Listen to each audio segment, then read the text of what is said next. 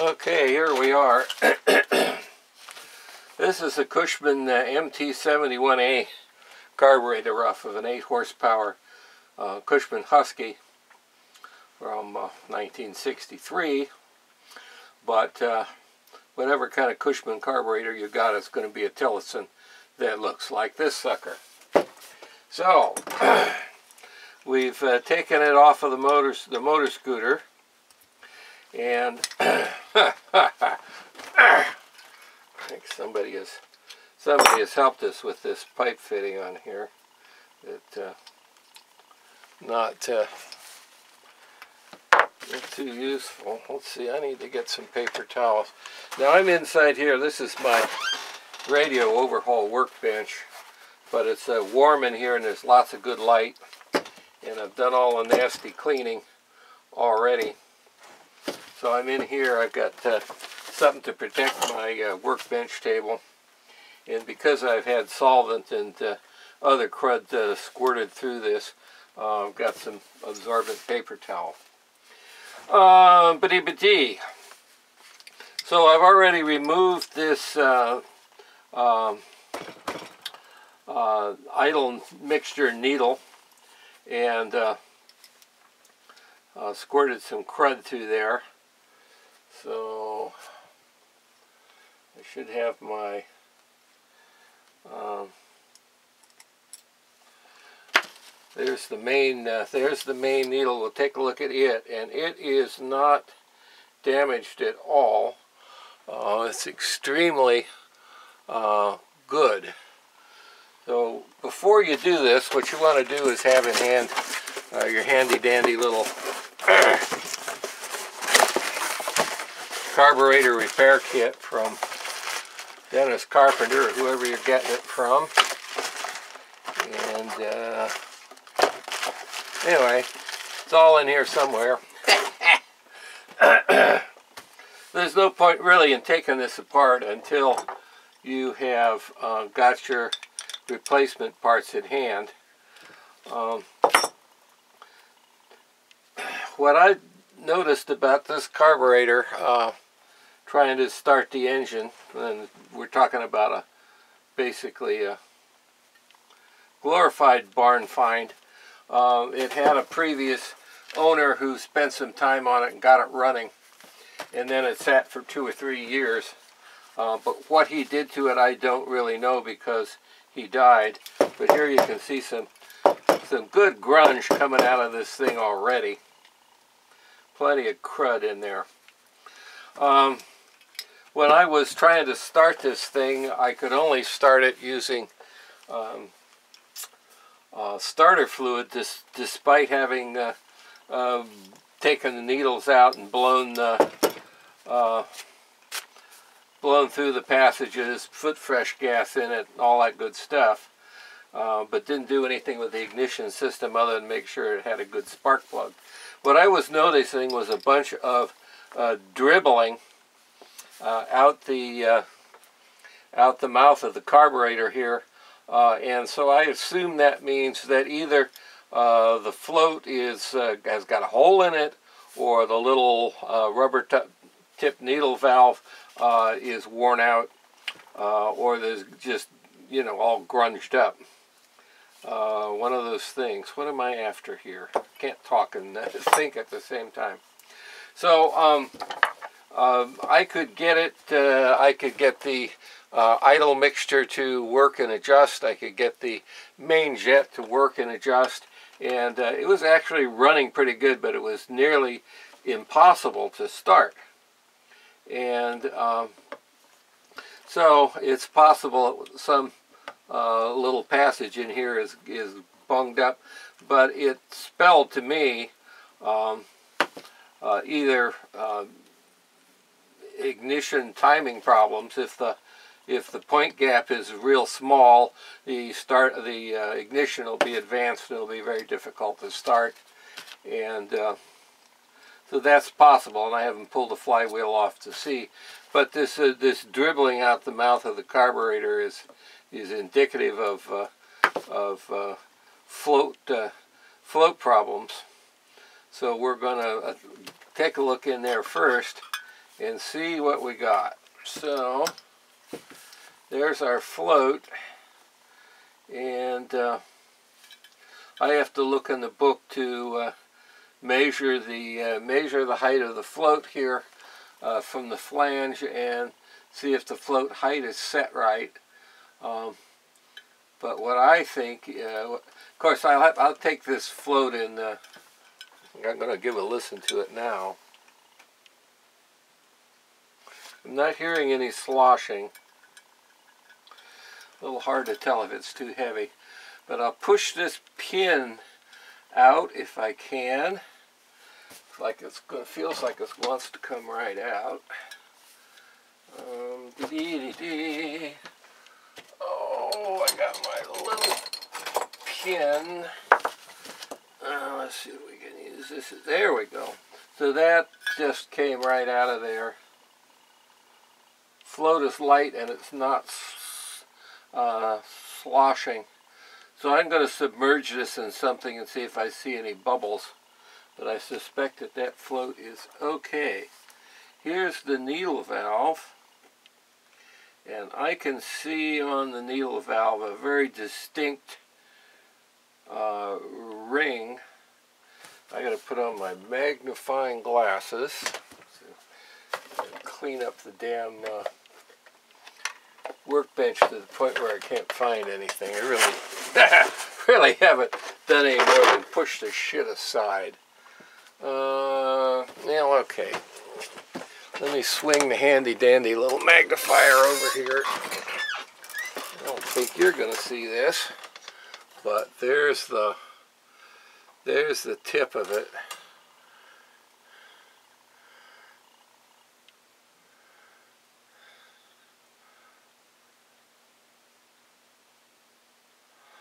I can't feel a score on there, but uh, we'll probably replace it anyway. So we'll have a look in the, the seat, which is pretty, pretty crude. And even cruder is what I'm going to do next.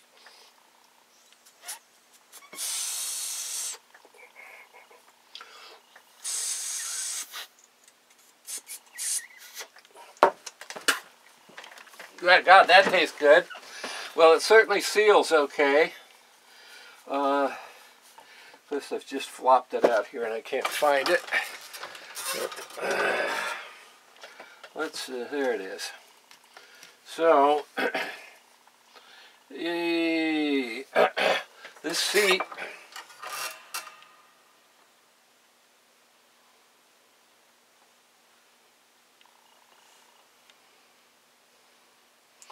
looks fine. and the little needle seem to seat fine. So I'm beginning to think that maybe um,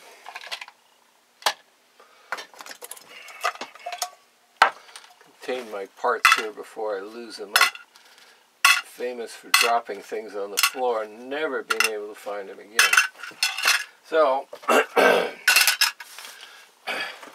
I think uh, we'll look at uh, the condition of that float and seeing whether or not uh, uh it actually floats or not. And um, then we'll, uh, if it's okay, uh, we'll set the height. I have a new float in the stuff that I got from uh, Dennis Carpenter. I have a whole bunch of stuff, new jets, new seats, uh, needle seats, gaskets, uh, new float, new uh, um,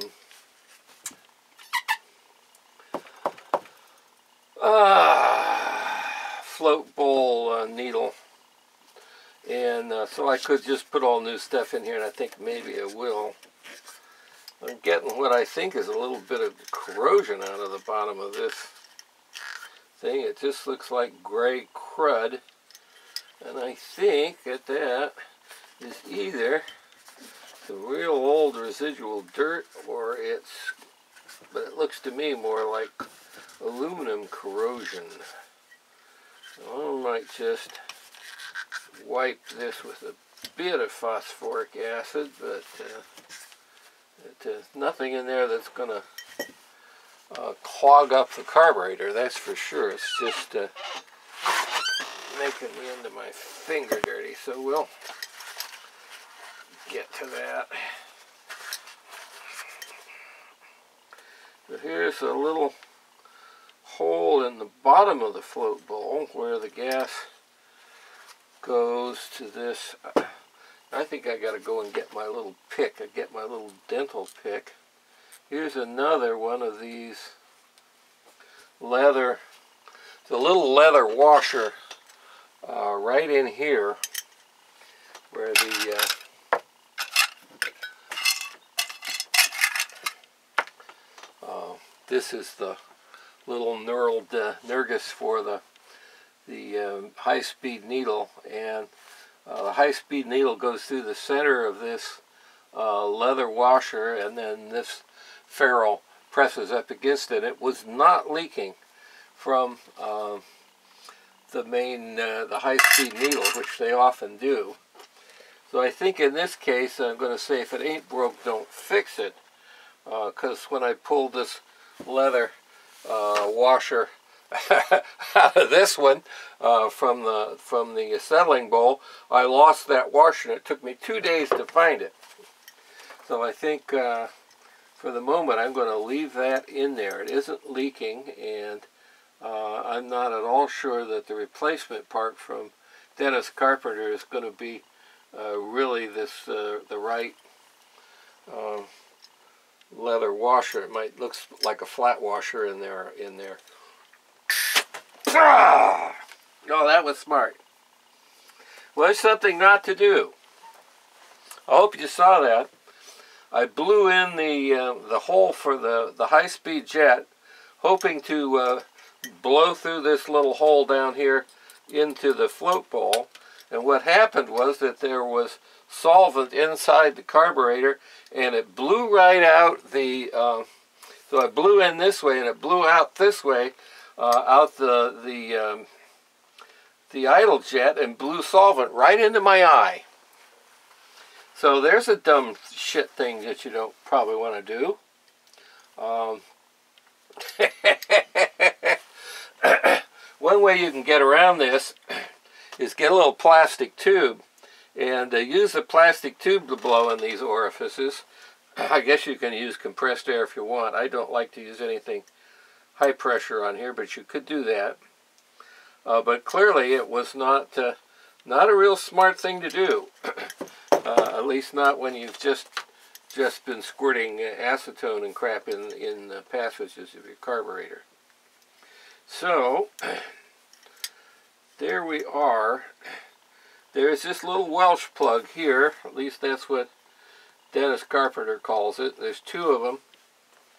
And you can see that there's now let's one more one more jet. I think this is the what I like to call an emulsion tube. And we're gonna have to use a better screwdriver for this. I may have to go out. This is a poor screwdriver.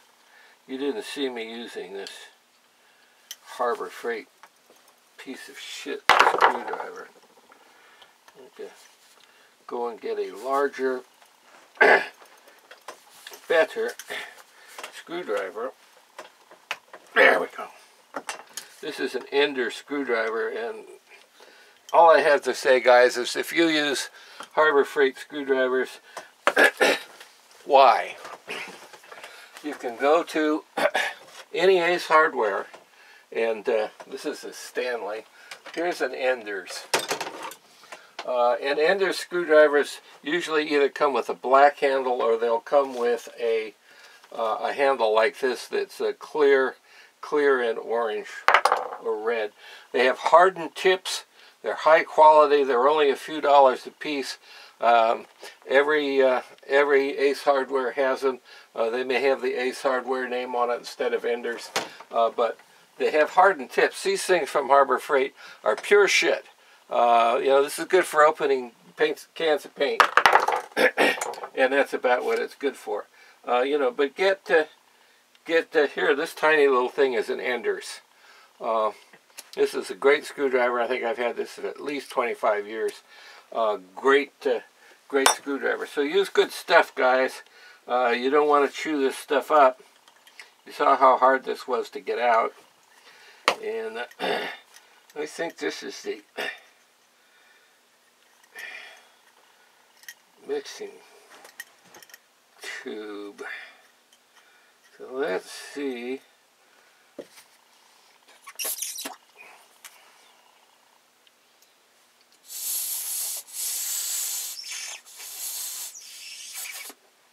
It's uh, it's free anyway. A couple of little holes through here and through here. so uh, I'm not going to do this in my uh, in my radio workshop, but I'll take this out and blow the uh, I don't know what I did with that can of uh, carburetor cleaner, but I'll take and blow all these passages out with uh, with acetone. Yeah, here's here's a, an actual jet in here. So that probably should come out if I can do it without chewing it up.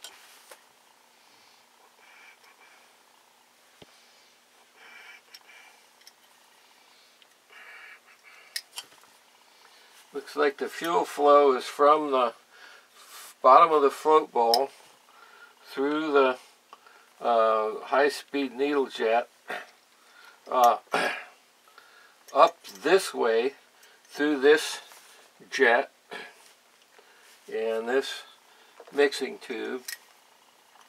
And over here is where the um, uh, idle uh, mixture needle is. And uh, that uh, meets the top of this. So that's the fuel flow. Fuel flow um, I can't talk anymore because of mold. Uh, bottom of the float bowl, high-speed jet, up to the top through this through this internal um, uh, fixed jet um, and into this port into the carburetor and here is the uh, mixture mixture adjustment going into that same port. So I got to quite I quite figured out the the fuel flow into the into the body of the carburetor but I see down here it's really rather crude it's a little spud injector pipe right there where the fuel mixture gets uh, sucked in the carburetor and atomized. Well, that's, it's crude. Got to give it that. Oh, wait a minute, that is. I see. Okay.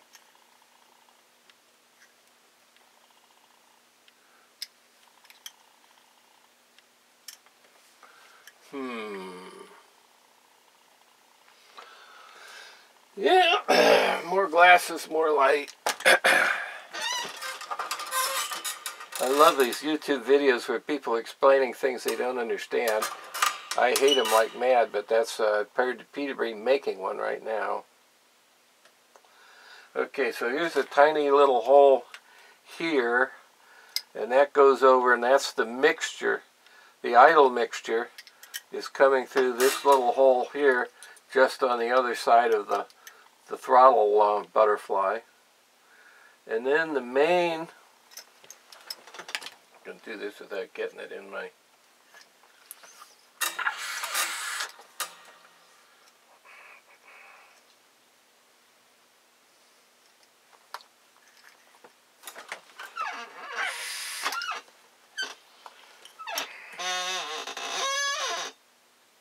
the fuel from the main jet is coming in in the middle of the carburetor on the opposite side, opposite this fixed jet here. So that seems to be the fuel flow and I don't think there's anything behind this little Welch plug except uh, this this chamber and this tiny little hole into the uh, into the uh, body of the carburetor.